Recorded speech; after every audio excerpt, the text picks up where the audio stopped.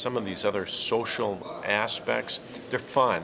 And what you've got to do is somehow connect people to having it fun, but also making it so that there's a longevity with doing it. And, and, that's the issue in terms of most of these products. There's burnout. You do it for 30, 60, 90 days. I'm tired of it. All of a sudden, I don't log or I don't do something else. So there's got to be some some motivating factor that will keep people on track.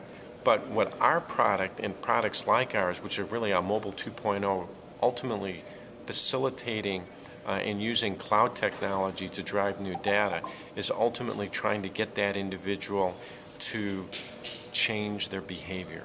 And social products, social media products today really isn't attacking that behavior mod, that behavior change, that ultimately healthcare uh, for large pieces of this population are really trying to attack.